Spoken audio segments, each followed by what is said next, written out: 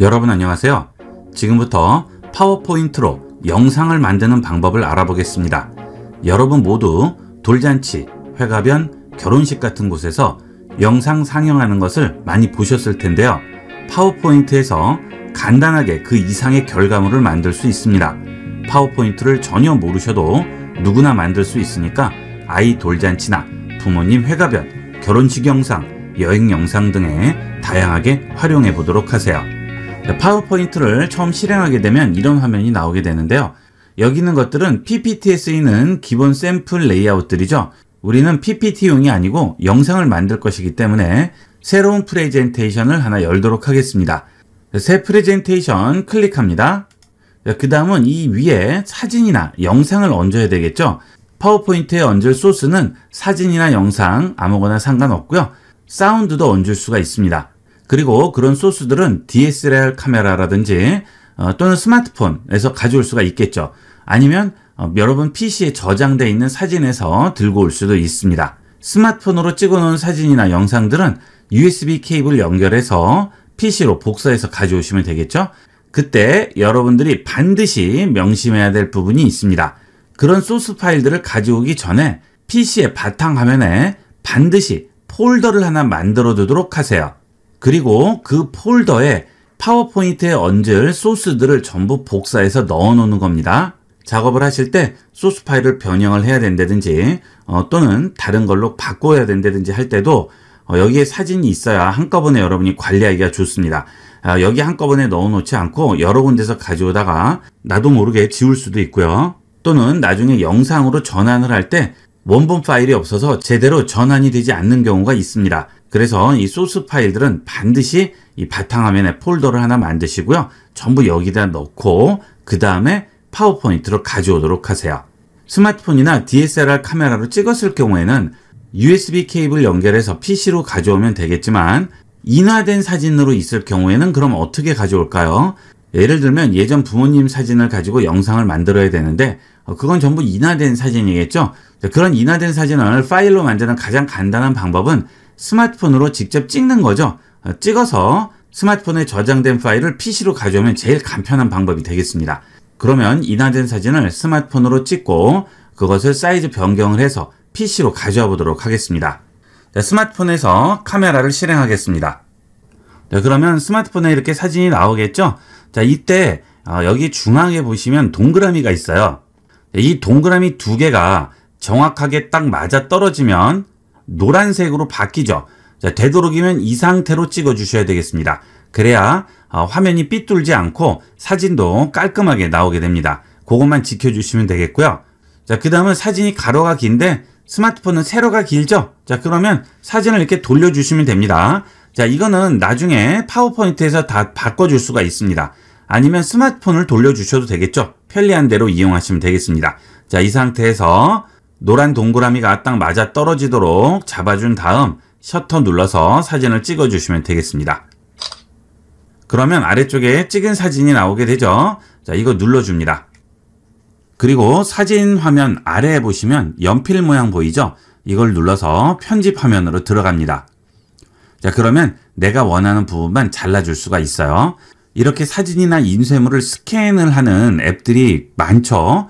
편리한 앱도 많고 한데 그런 앱들을 이용을 하시려면 어, 일단 스마트폰에 또 설치를 하셔야 되고 회원가입 하셔야 되고 복잡합니다. 제일 간단한 방법이 카메라로 찍고 갤러리에서 편집하는 방법이 되겠어요.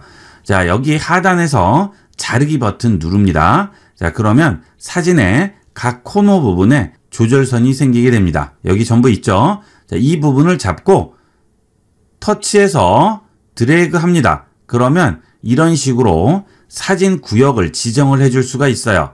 이렇게 지정을 해줍니다. 물론 우리가 사진을 찍어서 사진 파일로 만드는 거기 때문에 하드웨어 스캐너보다는 깔끔하게 스캔이 되지는 않겠죠. 하지만 이런 식으로 이용을 하면 간단하게 사진 파일로 변형을 해줄 수가 있는 거예요. 자, 약간 잘려나가는 거는 감안을 하셔야 되겠죠. 자, 이렇게 해서 최대한 잘려나가지 않도록 해서 사진 구역을 정했습니다. 자, 그 다음 저장하겠습니다. 자, 그러면 사진이 전체가 선택이 됐죠. 자, 이걸 PC로 가져가시면 되겠죠. 물론 이 사진을 파워포인트에서 돌릴 수도 있고요. 여기 있는 스마트폰 자체적으로도 돌릴 수 있겠죠. 어, 돌리는 것도 아래에 있는 연필 버튼 누르시면 rotate 버튼이 있습니다. 그런데 우리는 파워포인트에서 사용 방법을 익히는 거기 때문에 어, 이건 파워포인트에서 돌려보도록 할게요. 자, 이제 USB 케이블로 스마트폰과 연결을 하신 다음 PC에서 파일 탐색기를 엽니다. 그러면 여기에 스마트폰이 연결이 돼 있죠? 자, 누르시고요. 안으로 들어가신 다음 여기에 있는 DCIM 폴더로 들어가면 되겠습니다. 자, DCIM 폴더 있죠? 여기 들어가셔서 여기서 카메라로 들어갑니다. 자, 그러면 지금 우리가 금방 찍은 사진 찾아볼 수가 있습니다. 자, 그러면 지금 우리가 금방 어, 스캔을 한 사진이나 스마트폰으로 찍었던 사진들이 전부 나오겠죠? 여기서 원하는 파일을 바탕화면으로 꺼내주시면 되겠어요. 자, 여기 있죠? 이 파일 그대로 바탕화면으로 꺼내주시면 되겠습니다. 자, 지금 스마트폰에서 가져온 사진을 찍은 파일도 여기 있죠? 자, 이것도 요 안에 넣어줄게요. 자, 이렇게 해서 폴더 안에 전부 넣어줬습니다. 자, 이제 준비는 끝났습니다. 파워포인트에서 사진을 가져오시면 되겠어요. 자, 이제 사진이나 영상을 가져와야 되겠습니다. 자, 상단 메뉴에 보시게 되면 삽입이라고 있습니다. 삽입 누릅니다. 그러면 아래쪽에 그림, 스크린샷, 사진 앨범 이렇게 세 가지가 나오죠. 스크린샷은 어, 말 그대로 지금 화면 자체를 그냥 찍는 거고요.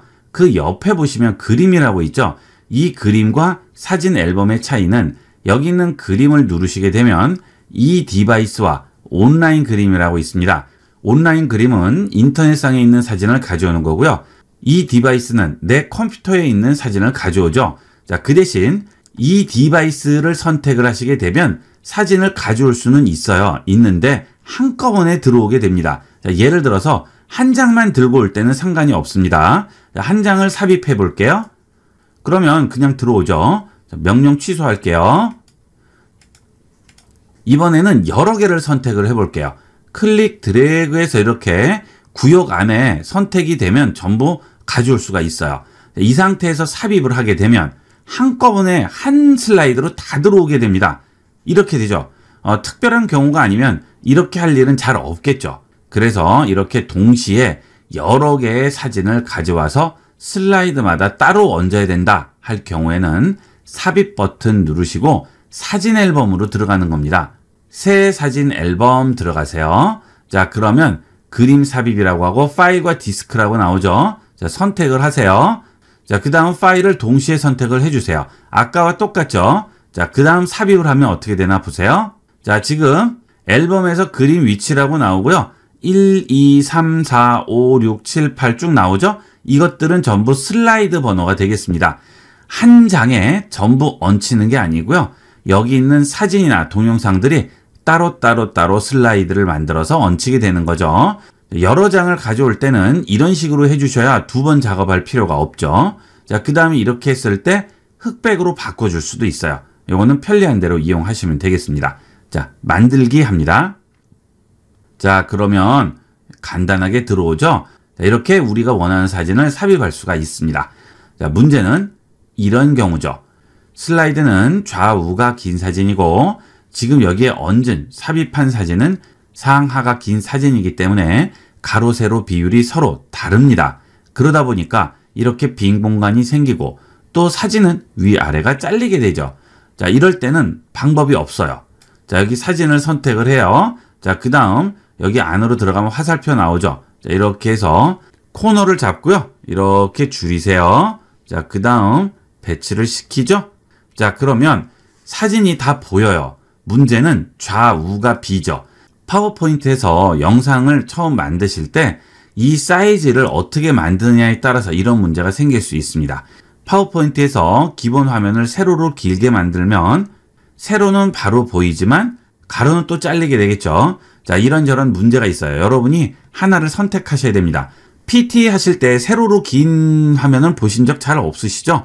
거의 99.9% 전부 가로가 긴 사이즈일 겁니다. 여러분이 이 영상을 TV에서 보신다거나 모니터에서 보실 때도 가로가 긴 사이즈죠. 그래서 파워포인트로 작업을 하실 때 되도록이면 가로로 긴 화면으로 만드는 게 좋겠죠. 자, 그러면 사진도 어때요? 되도록이면 가로로 긴 사진을 선택을 해주시는 게 좋겠죠. 그런데 부득이하게 이럴 경우는 어떻게 할까요? 자, 이때는 어쩔 수 없죠. 그냥 이렇게 비워두던지 아니면 사진을 키우세요. 자, 사진의 코너 부분 있죠? 여기를 잡고 키웁니다. 자, 슬라이드를 좀 줄여볼게요. 자, 우측 하단에 보면 돋보기 버튼이 있어요. 자, 이걸로 이렇게 사이즈를 조절할 수가 있죠. 이때 코너에 화살표를 얹으면 화살표가 안팎으로 생기죠. 클릭 드래그해서 키우세요. 자, 그러면 스냅이 돼서 탁 붙어요. 그죠? 자, 그 다음 이 사진을 또 이쪽으로 키웁니다. 또 스냅돼서 붙었죠. 자, 그러면 이 사진 전체가 지금 나오죠? 자, 그런데 실제 보이는 건 이 구역만 보이는 거예요. 자, 그런데 이렇게 보면 헷갈려요. 어디서 어디까지가 지금 보이는 부분인지 알 수가 없죠. 자, 그래서 그 부분이 표시가 나게끔 만들어 주도록 할게요. 상단 메뉴에 보시면 보기 메뉴가 있죠. 보기에 들어가시게 되면 여기에 눈금선이라고 있습니다. 이 눈금선을 체크를 해주시게 되면 실제 슬라이드 크기만 눈금으로 표시가 되게 됩니다. 좀 확대를 해볼게요. 여기 보시면 눈금이 나오게 되죠. 이 눈금이 있는 구역이 나중에 슬라이드로 저장되는 구역이 되겠습니다. 그 외의 부분은 보이지 않는 부분이 되는 거예요. 하지만 이 상태에서는 어, 원래 사진 사이즈가 크기 때문에 여기도 다 보이죠. 나중에 동영상으로 저장하게 되면 어, 이 부분 외에는 보이지가 않게 되겠습니다. 지금 이 상태에서 전체 슬라이드를 어떻게 보이는지 확인을 하시기 위해서 보기 누르신 다음 좌측에 보시게 되면 여러 슬라이드라고 있죠. 이 버튼을 누르시면 전체 슬라이드가 어떻게 보이는지 보이게 됩니다. 자, 지금 여기 보시면 넘치는 부분은 없어졌죠? 나중에 동영상으로 저장되는 부분은 이 부분만 저장이 되는 거죠. 자, 그 다음 이걸 보시면 여기에 까만 부분이 나오게 되겠죠? 어, 나중에 영상으로 저장을 하거나 또는 슬라이드 쇼로 볼 때는 이 부분이 그대로 까만색이 나오게 되겠죠. 자, 사진이 잘 나오다가 여기서 이렇게 까만 부분이 보이게 되면 보기가 안 좋죠. 그래서 이런 슬라이드 쇼를 만들거나 영상 만들 때 비어있는 구역이 없이 꽉 채우는 걸 선호하게 되겠죠. 그 다음 이 슬라이드는 어, 사진을 돌려야 되겠죠. 지금 세로로 세워져 있죠. 자 여기 더블 클릭해서 들어가게 되면 어, 지금 격자선이 보이죠. 여기에 맞춰서 사진을 돌려주도록 할게요. 자, 이 사진 선택을 하면 위에 rotate 버튼이 나오게 됩니다. 자, 이걸 잡고 돌리세요. 자, 이렇게 돌리시면 90도가 어, 되면 스냅이 돼서 탁 붙게 됩니다. 자, 됐죠? 자, 그 다음 키워서 채워주게 되겠습니다. 자, 그런데 지금 이 사진은 어, 일반 카메라로 찍어서 인화를 한 것을 어, 스마트폰으로 찍어서 파일로 저장한 상태죠. 자, 우리가 스마트폰으로 사진을 찍게 되면 16대 9로 찍는 경우가 대다수고요. 일반 DSLR 카메라나 미러리스 카메라로 찍게 되면 가로 세로 비율이 4대 3이 됩니다. 자, 16대 9 화면에 4대 3을 놓다 보니까 비율이 다르니까 비어 있는 공간이 생길 수밖에 없죠. 그래서 이런 경우에도 어, 구역을 다 채워 주시는 게 좋겠죠. 자, 이렇게 키워 주시고요. 또 스냅이 되죠. 여기도 키워 줍니다. 자, 스냅이 되겠습니다.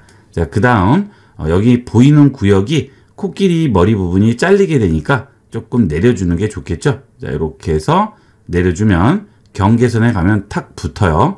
자, 이렇게 해서 위치를 시키고 여기까지가 지금 보이는 부분이 되겠죠. 자, 다시 여러 슬라이드 볼까요? 예, 그러면 이런 식으로 나오게 되겠죠. 자, 이렇게 해서 기본적으로 어, 슬라이드에 사진을 채워주게 돼요. 여기는 아직 안 채웠죠. 이것도 마저 채워주도록 하겠습니다. 자, 사진 사이즈를 조절을 하실 때 여기 변을 잡고 움직이시게 되면 사진이 이렇게 찌그러지게 됩니다. 자, 이건 안 되겠죠? 그래서 키우실 때는 코너를 잡고 키워주셔야 비율대로 커지게 되겠습니다. 자, 절대 사진이 찌그러지게 만드시면 안 돼요.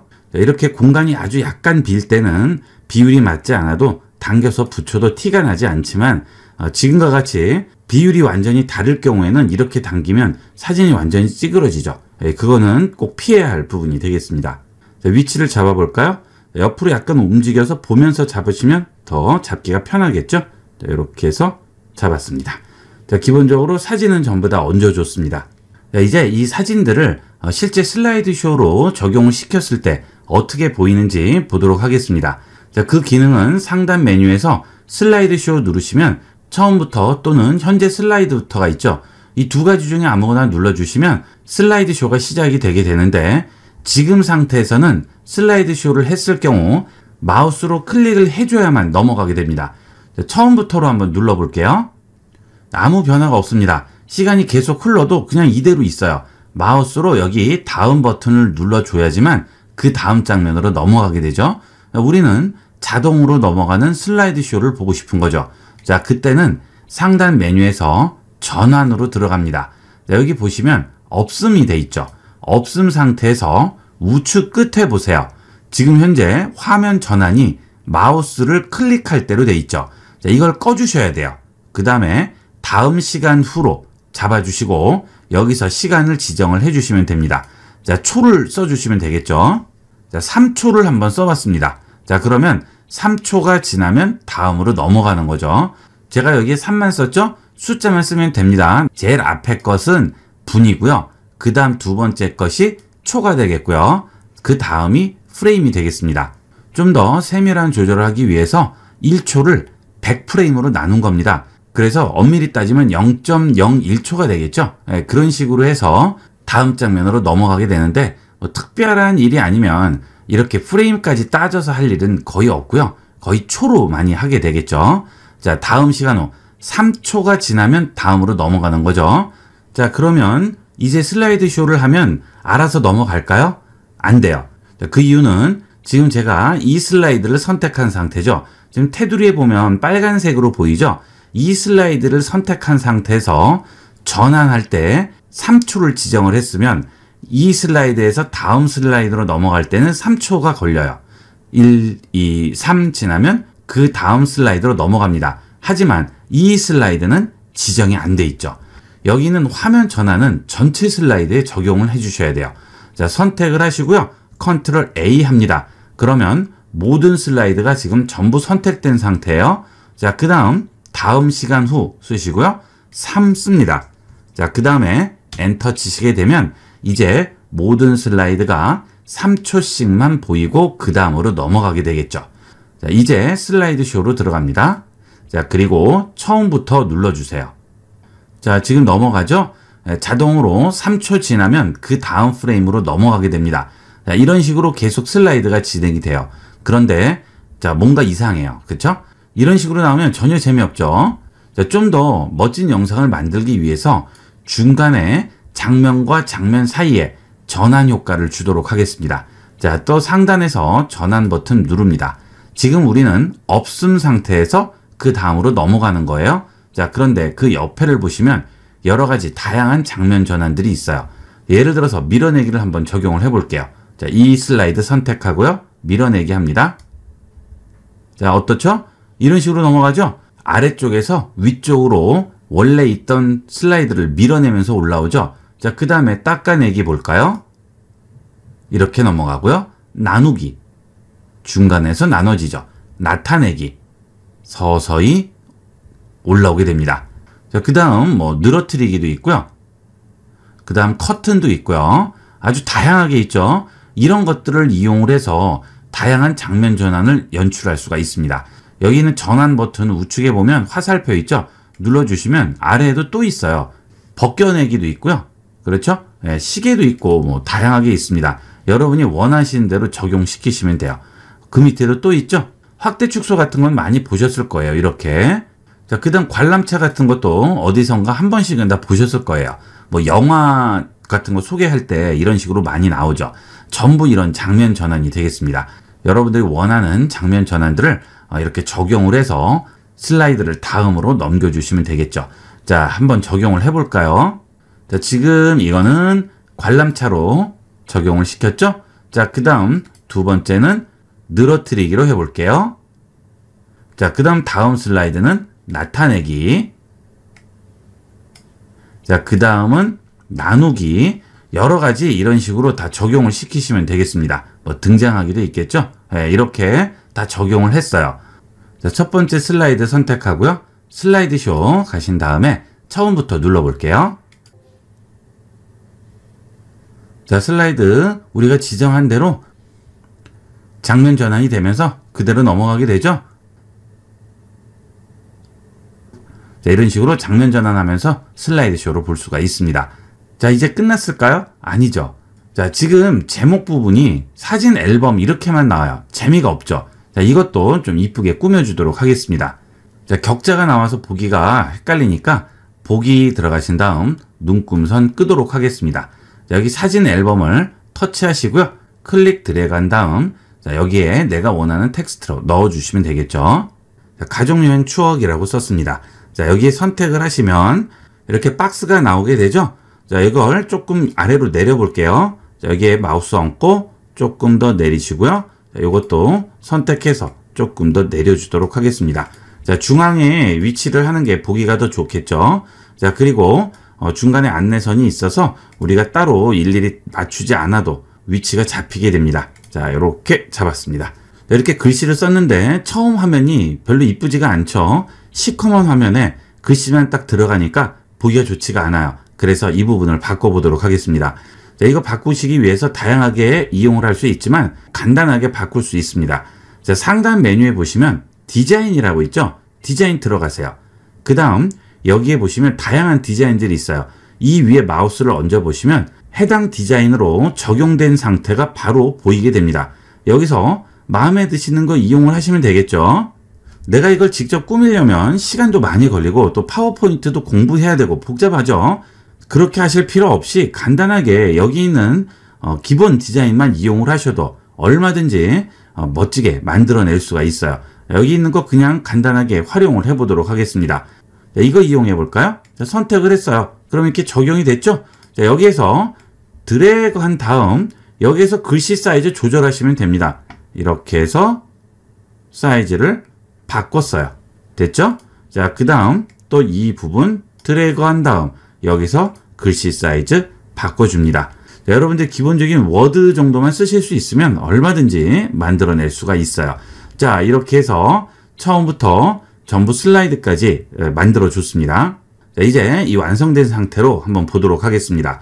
자, 또 슬라이드 쇼 가신 다음 여기서 처음부터로 해보도록 할게요. 자, 이런 식으로 어, 슬라이드 쇼로 계속 넘어가게 되겠죠. 자, 그런데 어딘가 좀 밋밋해요. 자, 이유가 뭘까요? 이런 영상에 빠질 수 없는 요소가 하나 있죠. 사운드죠. 자, 음악이 없습니다. 음악이 없으면 답답해 보이고 밋밋해 보입니다. 자, 이번에는 사운드를 넣어보도록 하겠습니다. 이런 슬라이드 쇼나 영상의 완성은 사운드라고 생각하시면 되겠어요. 사운드가 굉장히 중요합니다. 상단에 있는 메뉴에서 삽입으로 다시 들어갑니다. 우리가 지금 여기서 그림을 얹었었죠? 사진 앨범에서 한꺼번에 가져와서 얹었죠? 자, 그 다음 우측으로 쭉 가보세요. 여기에 오디오라고 있습니다. 이 오디오를 누르시면 내 PC의 오디오를 이용을 할 수도 있고요. 내가 사운드를 녹음을 할 수도 있습니다. PC에 마이크가 연결이 돼 있을 경우에 오디오를 내가 직접 녹음을 해서 이용을 할 수도 있는 거예요. 일종의 나레이션 같은 거죠. 결혼식에서 신랑이나 신부가 뭐 부모님한테 영상을 튼다거나 할 때 보시면 이 나레이션이 들어가는 거 있죠. 자, 이런 식으로 녹음하시면 되는 겁니다. 자, 저는 PC에 있는 오디오로 가져와 보도록 하겠습니다. 음악 파일은 mp3 파일 가져오시면 되겠죠. 어, 그리고 그 음악 파일도 똑같이 우리가 파워포인트에 소스를 넣어놓은 그 폴더 안에 넣고 거기서 가져오시면 되겠습니다. 자, 내 PC의 오디오 선택합니다. 자, 그러면 어, 아까 파워포인트 소스라는 폴더에 One Day라고 해서 음악이 하나 들어가 있죠? 자, 선택하고 삽입하겠습니다. 자, 그러면 이렇게 음악 표시가 하나 나와요. 자, 이 음악 표시를 어, 위치를 시켜 놓을게요. 자, 그런데 지금 선택된 6번 슬라이드 말고 5번 슬라이드를 선택을 해 볼게요. 자, 그러면 여기에는 음악 표시가 있어요, 없어요? 여기는 없어요. 여기는 있죠. 지금 선택된 슬라이드에서만 음악이 나오게 되겠죠.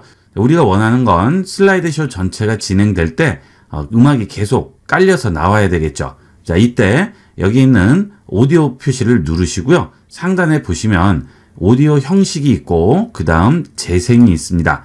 재생을 눌러보시게 되면 스타일 없음이 있고 백그라운드에서 재생이라고 나오죠. 이 백그라운드 재생을 눌러주셔야 슬라이드 전체에 걸쳐서 배경음악이 나오게 되는 거죠. 백그라운드에서 재생 눌러줍니다. 그러면 이제 슬라이드 전체에서 음악이 나올 거예요. 그리고 여기 재생 버튼을 눌렀을 때 여기 메뉴를 보시면 모든 슬라이드에서 재생이라고 되어 있죠. 여기에 체크를 해주시고요. 자, 그 다음 그 위에 시작이 자동 실행으로 돼 있어야 되겠죠.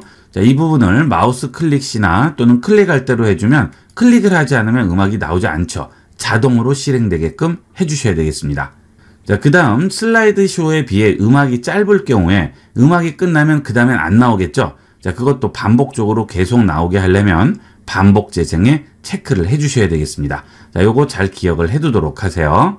배경음 설정이 이제 끝났는데요. 이 상태에서 플레이를 하게 되면 슬라이드가 여기까지 올 때는 음악이 나오지 않습니다. 그 이유는 지금 여기에 음악 표시가 나와 있죠. 이 슬라이드부터 음악이 나오는 거예요. 우리는 처음부터 나와야 되겠죠. 자, 지금 처음에는 음악이 얹혀 있지 않죠. 그래서 여기에 가신 다음 이 표시를 처음으로 바꿔주도록 하겠습니다. 물론 처음에 만들 때부터 제일 첫 번째 슬라이드에 배치를 시키면 좋은데 작업하다 보니까 어, 이렇게 중앙에 만들었다 하실 경우에는 선택하신 다음 컨트롤 X로 잘라주고요.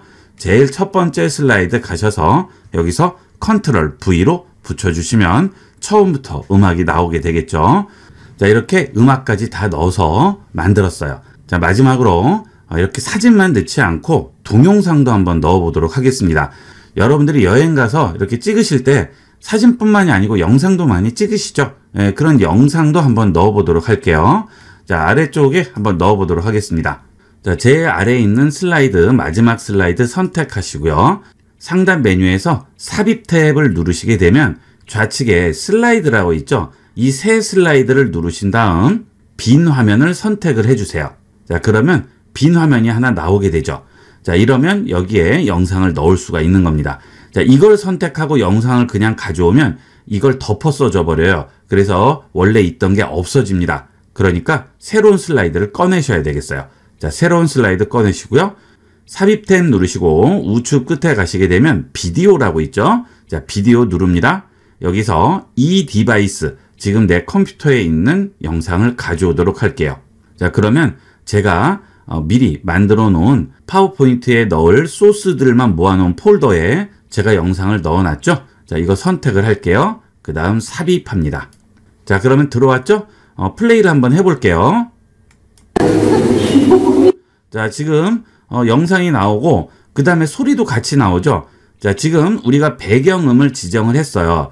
그리고 이 영상에도 사운드가 포함이 되어 있습니다. 그러면 나중에 슬라이드 쇼를 하게 되면 중복이 돼서 나오겠죠.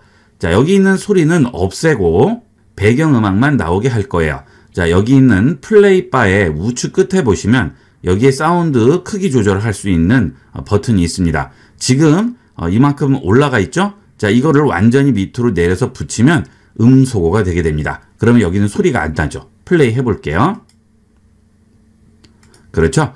자, 그런데 여기는 동영상 소리도 듣고 싶은 거예요. 그 대신 배경음에 묻혀서 작게 나오고 싶어요. 자, 그럴 때는 여기 사운드 크기를 조금만 올려주는 거죠. 자, 플레이 해볼게요. 자, 이것도 너무 큰 것 같아요. 그러면 조금 더 낮춥니다. 그리고 플레이 해볼게요. 자, 그러면 여기서는 소리가 나오되 아주 작게 나오고 그 다음에 배경음은 크게 나오고 이렇게 되겠죠. 어, 이거는 여러분이 원하시는 대로 해주시면 되겠습니다.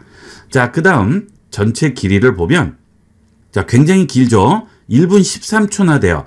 저는 여기까지는 필요 없고요. 여기서 요 정도까지만 쓸 거예요. 이럴 때는 자 여기 영상에 마우스 우측 버튼 클릭하시고 트리밍으로 들어갑니다.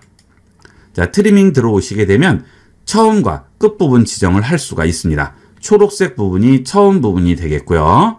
빨간색 부분이 끝부분이 되겠습니다. 자 이렇게 지정을 해주면 여기서부터 여기까지만 플레이가 되는 거죠. 시작은 32초고요. 끝나는 부분은 37초죠. 대략 5초 정도 되겠네요. 조금 더 늘려볼까요? 자, 이렇게 되면 한 6, 7초 정도 되겠네요. 자, 이렇게 해서 플레이를 해봅니다. 됐죠? 네, 이거를 저장을 할게요. 확인합니다. 자, 그러면 이제 이 영상은 내가 지정한 길이만 나오게 되는 거예요. 자, 전부 끝났어요, 이제. 자, 이거를 그대로 슬라이드 쇼로 저장만 해주면 되는 겁니다. 자, 녹음 녹화 들어가서 동영상으로 내보내기 하시면 되는데, 아, 여기서 하기 전에 슬라이드 쇼에서 한번 확인을 해 보셔야 되겠죠? 예, 확인을 하시고 문제가 없으면 녹음 녹화 들어가셔서 동영상으로 내보내기 하시면 되겠습니다. 자, 이제 녹음 녹화 탭에 있는 동영상 내보내기 기능으로 누구나 볼 수 있는 동영상으로 만들어 보도록 하겠습니다. 자, 동영상 내보내기 합니다. 자, 그러면 비디오 만들기라고 나오고요. 사이즈가 나오죠. full HD, 그 다음에 4K, HD, 표준 이렇게 나오게 되죠. 보통 HD급이면 화질이 조금 떨어져요. 그래서 어, 할수 있으면 full HD가 좋으시고요. 4K를 주게 되면 소스 자체가 4K가 돼야 되는데 그렇지 않으면 지저분하게 나올 수가 있습니다. 가장 보편적으로 저장할 수 있고 볼 수 있는 게 FHD가 되겠어요. FHD 누르시고요. 그 다음 아래쪽에서 비디오 만들기 누릅니다. 그러면 제목이 그대로 들어가서 가족여행.mp4라고 해서 저장을 할 수가 있겠죠. 자, 이렇게 해서 저장을 하게 됩니다.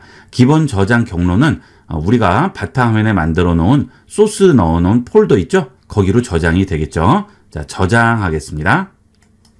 자, 저장이 됐네요. 가족여행.mp4라고 저장되어 있죠? 자, 그 다음에 이건 pptx 파워포인트 파일이 되겠죠? 자, 영상으로 저장한 파일 열어보도록 하겠습니다. 이렇게 해서 사진과 영상 그리고 사운드를 이용을 해서 파워포인트에서 간단하게 슬라이드쇼 영상을 만드는 방법을 알아봤습니다.